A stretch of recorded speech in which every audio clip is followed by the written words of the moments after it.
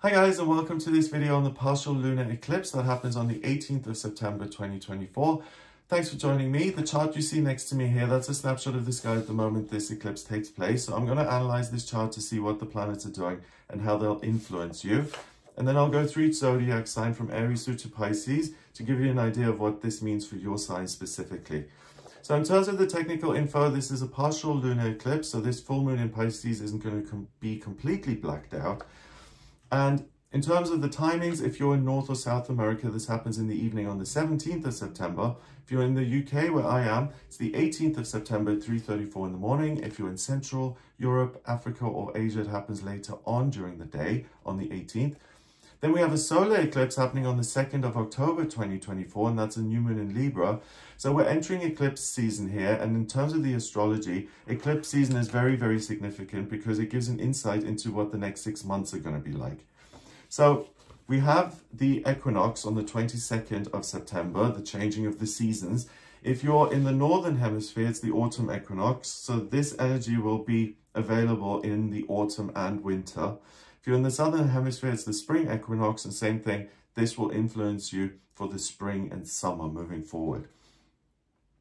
So in this case, we have the sun in Virgo opposing the moon in Pisces. So the sun is your head. It's what you identify with on a conscious level. And in Virgo, it wants you to create order out of chaos and to be super grounded and practical. The moon is your heart, the way you feel. In Pisces, it's very much about your connection to your higher self, the bigger picture, and what could be. And I feel this opposition and the fact that it's going to last for six months, this face-off between the reality of Virgo and the dream of Pisces is remember the rules. Remember that microcosm equals macrocosm, as above, so below. And this is a prompt to really face reality and to make changes if the reality as it is for you right now doesn't satisfy you. And it's really that in-between place of the dream I have for my life and the reality of my life. And how can I work in the distance between the two in order to bring them together? So we've got um, this opposition then, both the sun and the moon are 25 degrees. 2 and 5 is 7. 7 in numerology is the mind and creativity. So it's almost like you, you've got access to your higher self. You realize what you would like to be in the world, in your everyday life. And then Virgo, the sun in Virgo is immediately going to jump into action and is going to say, okay, well, these are the steps you need to take then in order to make that happen for yourself. Next to the moon, we have Neptune. Neptune is the water planet of dreams and intuition.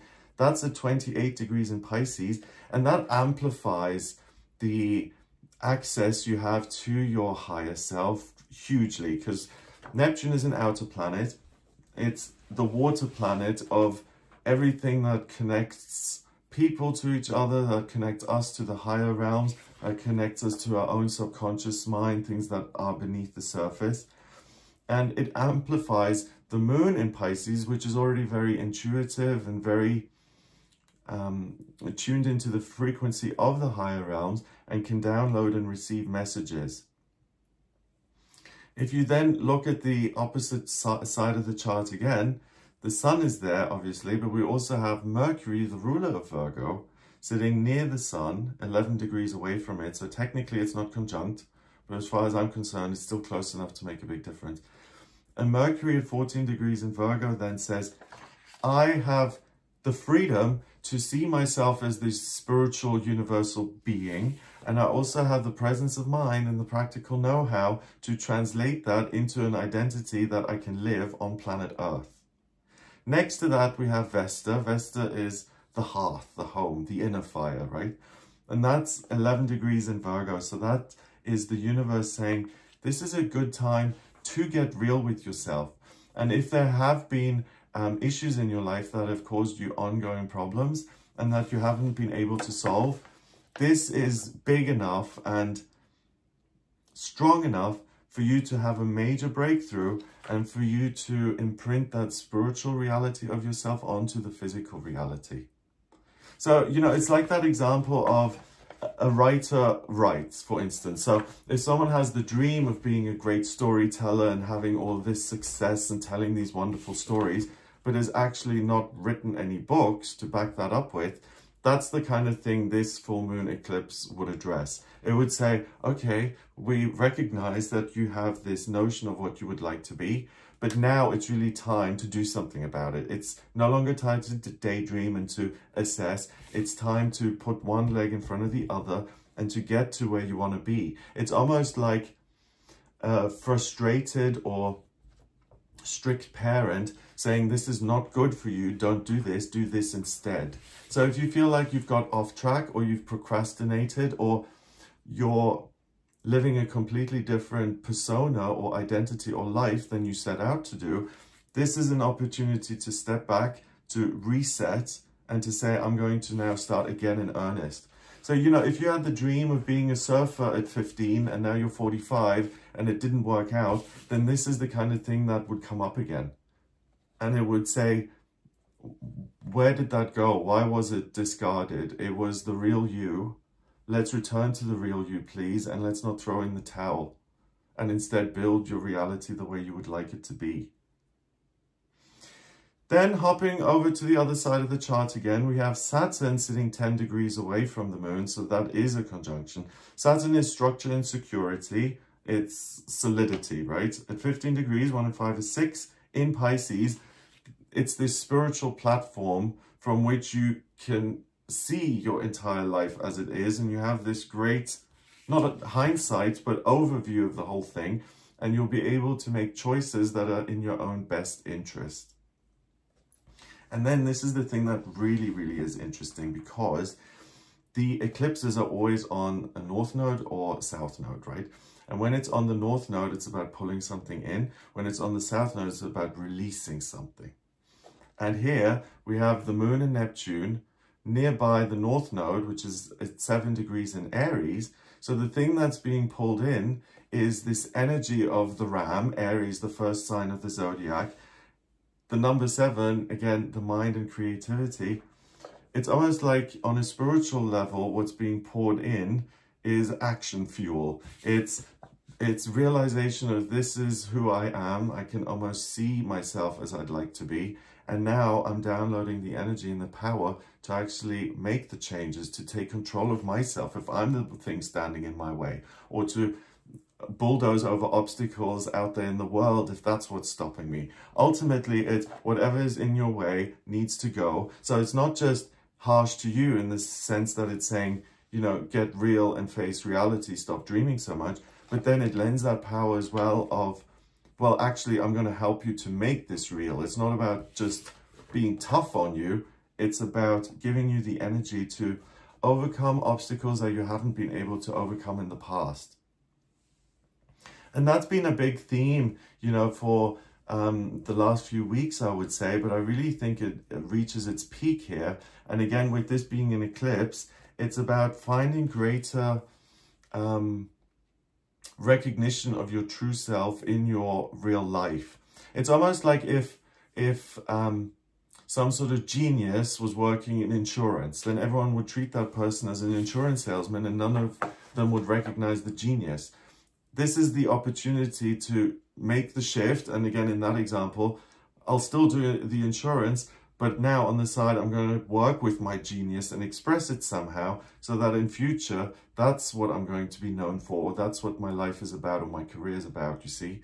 It's about taking the dream and hammering it out into stone and making it real. The south node is at 7 degrees in Libra. So the thing that's really not so important is the opinion of others. We've also got Black Moon Lilith and Juno and Venus in Libra. So that's actually a very beautiful time. Venus is the planet of love and beauty and creativity. 23 degrees in Libra. I think you can have good relationships at the moment, but I really don't think that relationships with other people are the top priority. I think they'll be naturally okay, and it gives you the time to focus on yourself and really what you want to be doing instead. So if you're someone who has felt dissatisfied or stuck in the current reality of your life, the next six months are going to be incredibly helpful in you hammering out a new reality. We have Juno at 13 degrees in Libra, so there's still real joy and warmth that you can experience when you connect to other people, when you work creatively, when you're around other people. But again, I think the real opportunity is to create inner healing and to take action. So I would try and balance it out between what am I doing at working to realize my dream and how am I managing my relationships, you know, colleagues, family members, friends, and even things that are my responsibility. I think there is real balance here during this time and the heavy lifting is being done internally as in I realize that this is how I would ideally like to be and now I know what I need to do about it on my own. I don't need to ask other people to help me or to give me permission or to give me a leg up. Okay, what else have we got? We've got um, the moon. It forms a sextile with Uranus at 27 degrees in Taurus. Uranus is the planet of the unpredictable. Even the path, uh, the its own path is very chaotic and all over the place. So at 27 degrees in Taurus, it's again the spiritual truth, 2 and 7 being 9, the end of a cycle, spirituality and completion. How can I take this complete picture and imprint it on something that exists in the physical world? So whether it's, you know, like those um, silk screen things or I've got an idea for a book, I'm going to write it down or a pot or something, my life. It's building something either creatively or in the most literal sense to Take the spiritual reality more seriously than the physical to choose the spiritual reality over the physical in order to then change the physical. It's the opposite of saying this is my life is and I need to adapt to it. It's saying this is who I am and the world needs to adapt to me. I hope I'm making that point. It's very empowering and it's very much a moment of ding, I get it, who I am and this is what the world ought to look like now. The moon then also squares Jupiter 20 degrees in Gemini. Jupiter is about growth, good luck. In Gemini, again, it's in a sign that's ruled by Mercury, the communication planet, and it's able to connect with any kind of information, any solution, any way out, and it allows you to make sense of the things that are being downloaded and to implement them. Then we've got Mars at 7 degrees in Cancer and also Hades at 14 degrees in Cancer. So the one thing that may feel a little um, challenging and difficult is that uh, it's almost like this is a little too harsh. Uh, uh, reality doesn't need to be this crystal clear. Maybe I should um, soften the blow by having a drink or doing something that changes my mind and takes me away from all this difficulty. Which, that's totally a choice and no one can say what's right and what isn't. But if you're able to tolerate the discomfort of this eclipse, then it's really going to lead you in the right direction. But it is more tough love than like gentle, there, there, you can do it. So try and align yourself with that and look at the end goal because during this eclipse, but also then for the next six months, and I hate to say it because it sounds so taskmastery, but like if you do the work, you'll have something to show for it at the end of it. It's not just torturing you, making you work hard, facing reality and then just being stuck, right? No, it's facing reality and then changing reality as a result of your efforts. Let's see what else. The moon then also sextiles Pluto at 29 degrees in Capricorn. Pluto is about transformation and change. It's the phoenix rising from the ashes. And currently it's retrograded into Capricorn. It's at 29 degrees. And it's going to stay in Capricorn until the 19th of November. And then it goes into Aquarius again, where it will then stay for the next 20 years until 2043 slash 44, right? So this is a three-month period where Pluto has now retrograded into Capricorn, September, October, November. 2 and 9 is 11, master number of service. Capricorn is the sign of the worker, both in a physical, earthy way, but also the inner emotional work.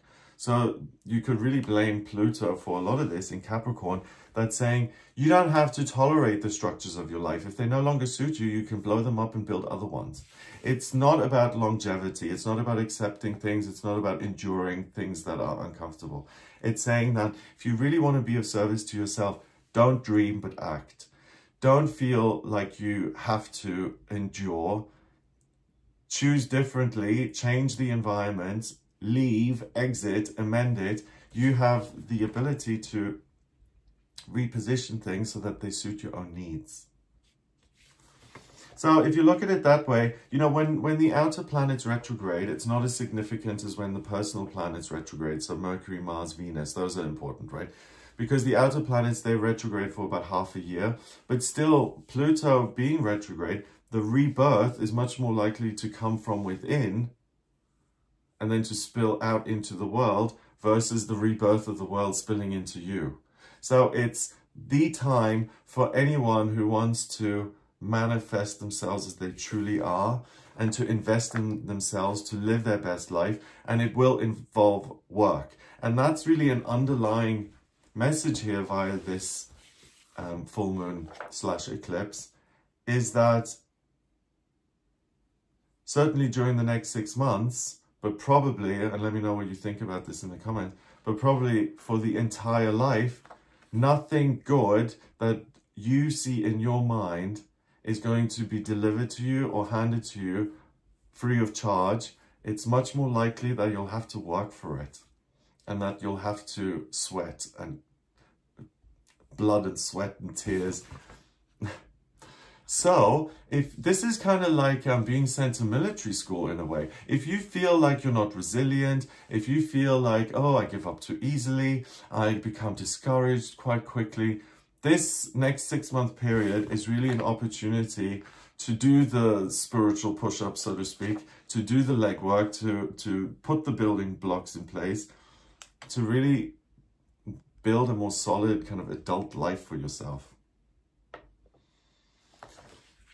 That, I'm just thinking as I'm talking, but that kind of thing is very, people will react to that kind of energy very differently in life. You know, like for instance, someone at 20 may be like, oh, I can't take responsibility for anything, nor do I want to. I need to run away and escape and take a flight and just disappear, right? That same person at the age of 40 may say, do you know what? I, I have had the experience of, of chucking it all and running off, and that didn't really work for me so well. So maybe now I should do the work and face reality. And maybe I can think change things for the better if, what am I trying to say? If I recognize that I have to do the physical world as well as the spiritual work. Otherwise, I can fall on my face. It, it, I, it's reminding me of something I read recently that the title of it was The Astrologer Who Fell in a Well and it was a guy who was looking at the stars so much that he forgot about his physical reality and he fell in the well. So you can't do one without the other. And this is the opportunity to stop dreaming and to actually do something about your dreams. And I'm sorry if I'm repeating myself, but I find this quite exciting. It's like tough love, but in a way that's actually going to work. And that will leave you much tougher at the end of this six months. You'll have grown up. You'll have done the work. And you'll be stronger for it. Okay, so let's see what else. Then the moon forms a, got the sextile with Pluto, it forms a trine with Pallas at two degrees in Sagittarius. Pallas is really wisdom and the wisdom of the direction I want to move into in life, one that is going to genuinely pay off for me rather than just be some sort of pipe dream that never makes a difference. So the, the, the thing about this then is you are if any new ideas or plans emerge from within you around this time and you're really like, oh, I can't get the way to get to work on this, I'm going to make this happen. It's guaranteed here via this connection with Pallas that this isn't a path that's going to harm you or that isn't going to pay off. If you're willing to embrace this, do the hard work, you are on a path that's going to lead you towards fulfilling your own mission in life. It's really significant. It's part of the journey and it's the next building block, block or the next plateau that you need to go up, sorry, to reach the top of the mountain. Um, let's see, then we have the moon forming a quincunx with Venus in Libra. So again, relationships shouldn't bother you too much in the sense that they demand a lot of your time and attention. Also, if, you know, it's your birthday around this time and you actually want other people's time and attention, during this eclipse full moon, I think it may be um, a little unrewarding that. If you're looking for a round of applause, this energy doesn't isn't really so conducive for that. See how you can celebrate yourself in a way. But that again sounds very harsh to say to someone who has their birthday, celebrate it on your own. I'm just saying like usually if you're used to, you know, like decorations and balloons everywhere and 50 people, it might be a, few, it might be fewer guests this time around because again, the focus is on my journey, my stuff, not other people's. Then we have the opposition, obviously to the sun. And that's it. Okay, so let's look at the other major aspect patterns at the center of the wheel then. You'll see that there's a blue rectangle with the, one of the sides is open. So if you kind of look at the sun at 25 degrees in Virgo, that trines up to Uranus in Taurus. That then sextiles to Neptune and the moon in Pisces. And then they trine Pallas in Sagittarius. So if Pallas then touched the sun via a sextile, that would be called a mystic rectangle, which gives you this greater connection to the higher realms. but here one of the sides is missing, so technically it's not a mystic rectangle. But still, all of these things influence each other, and we've got both the earth signs Virgo via the sun and Taurus via Uranus. They connect and then spill over into the moon and um, Neptune in Pisces, which is a water sign, and Pallas in Sagittarius, which is fire, right? So it combines lots of different types of energy, and it says that if you can dream it, if you can think it, then of course sooner or later it's going to show up in the real physical world. It's the assumption that anything that you think, and it's the realization that the inner environment, of course, is going to show up sooner or later in your physical environment. And that's, uh, again, an insight into the spiritual laws of the universe. But with that sort of certainty, you really can't go wrong here. Because whatever you do, if you decide to start a business during this time, right? That business might last five years or 20 years. But regardless of the length of time, it was important that you had that business. So really pay attention to what is most meaningful to you at this point in time and what you can do about it because it's going to be the culmination of something that is meant to appear on your journey through life.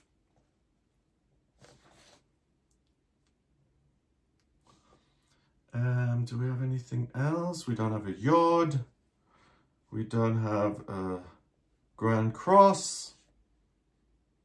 We have a kite that becomes Yes, we have a kite. Okay, so Venus in Libra trines Jupiter in Gemini, and that trines the part of fortune in Aquarius and the descendants in Aquarius. So a big blue triangle is known as a grand trine. It's an area of talent. This one is in air. Intellect, ideas, thinking, communication. So the big talent is I can assess what my actual dream is intellectually. I can bring it back to my conscious self not just in my dreams when I'm asleep. I can dream this while I'm awake. That's me putting my finger on it and that's what I can build with. So the identification of the dream. And then we've got two sextiles sitting on one of the sides, connecting Chiron at 22 degrees in Aries. Chiron is the wounded healer, 22 is the master number of the builder, and Aries is do-it-yourself, DIY, right? So pay attention to your own hopes and dreams, then build them in order to heal past disappointments or to heal your life in the sense that the affirmation, I get what I want, becomes much more real and accurate than the affirmation, I don't get what I want. And that's like training for life. Because then in future, if you ever want something else, you're going to be like, of course I have to work for it. So this is this is a good one for anyone who has been a little spoiled in life, who's had things come to them and who's kind of grown to expect that anything good, of course it should just come to me. This is kind of like eh, Virgo saying, no, no, no, sometimes a little bit of work is required. yeah, and it, re harsh reality can be harsh, but you're strong enough to face it. And sometimes by being a little bit harsh and saying, don't just dream, do, is actually far better for the actual quality of your real life. Okay, so let's see if there's anything else that I missed in here. No, don't think so. Okay, so let's look at each sign of the zodiac then, and please watch them in this order. For your rising sign first, then your sun sign, and then your moon sign. I used to do the horoscopes, excuse me, for the sun signs first, then the rising sign, and then the moon sign. But in my years doing charts for people, reading their horoscopes, I noticed a lot of the time people identify more with their rising sign than the sun sign. So I want my horoscopes to reflect that. So please, and again, I'm repeating it, sorry. Rising sign first, then sun sign, then moon sign. Okay, so Aries, for you, this eclipse happens in your 12th house. 12th house is spirituality and spiritual strength. So that you discover, or Aries, you may find that you discover yourself on a subconscious level and find a new directioning a new direction opening up in your life as a result. So subconsciously, the dream comes through and says, do this with it, go that way. If you follow that, again, you're pretty much guaranteed to succeed rather than fail. So for you, Aries, this is very much the energy of the Fool in the Tarot. Some new energy is conceived, comes into existence, and for you, it's the beginning of a very, very meaningful journey. Could even be the most meaningful journey in your life. Taurus, for you, this is in your 11th house of hopes and dreams, connections to other people. You may discover what you really long for and dream about in life. So if you haven't um, had a notion so far, it may become crystal clear.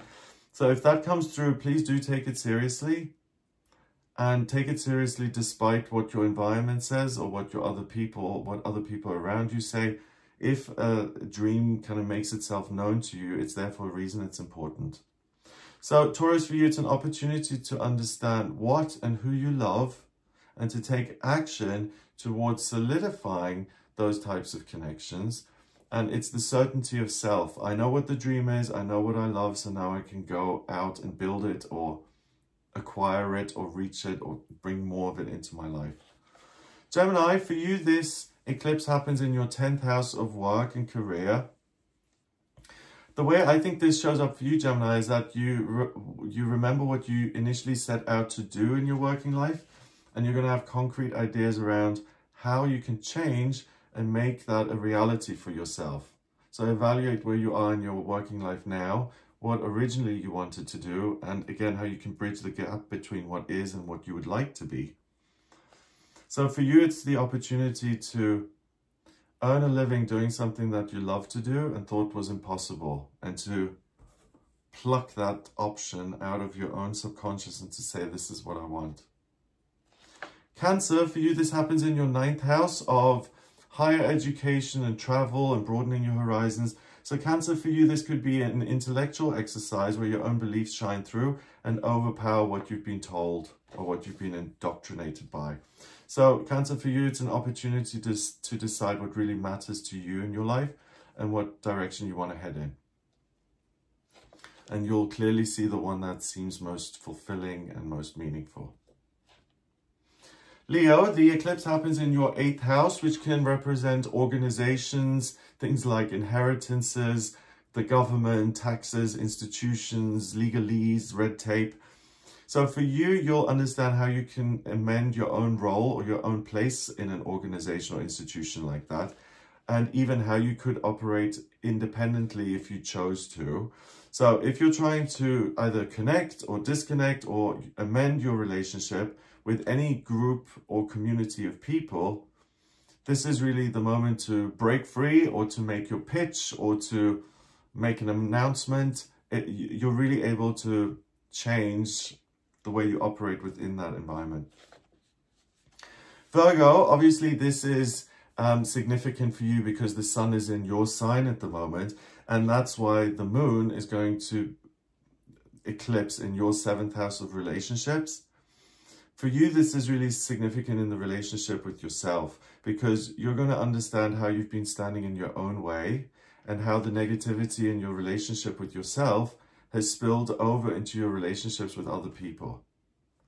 So what you discover is what doesn't work and you find a healthier alternative, so an upgraded version of yourself, so to speak, you're wiser and more positive because again, you have this realization of this is what I do that doesn't help and isn't constructive and I can find a better way. So yourself first, then other people follow. Libra, for you, it's in the sixth house.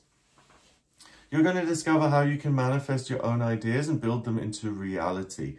So maybe you have uh, an idea that's very simple, like changing a room in the house and repurposing it, like taking it and turning it into a gym or a meditation room. Or if you haven't worked creatively in a while, maybe just to give yourself the opportunity to write or draw or to express what you're feeling. If you get that kind of um, vibe, please give into it and draw something or write something because the product, the thing that you actually come up with, may be a bit of an eye-opener as to, as to what you really want in your daily life and what you want your routine to look like. It may be delivered via your own art form, your own creative output. Scorpio, for you, the eclipse happens in your fifth house of what you love and children and romance. You understand who and what is most important in your life and how you can be more present in the moment and actually live it rather than dream about some other life that's ideal and treat this one as if it's your provisional life. You can put an end to that. So you'll be able to ex exit fantasy and to emerge into action most effectively of all of the signs. So the question for you is what do you want to change right now? And really, Scorpio, you really nail this, but I think that's accessible to everyone. It's like, how can I flip the switch from fantasy mode into action mode? I think that's so important for this um, eclipse.